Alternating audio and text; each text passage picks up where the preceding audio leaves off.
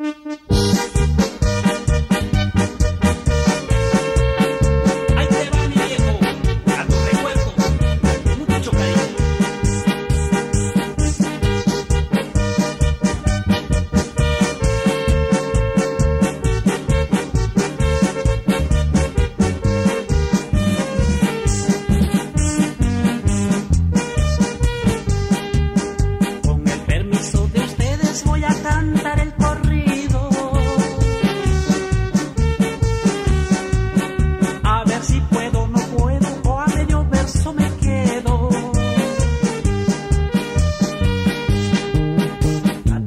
a que me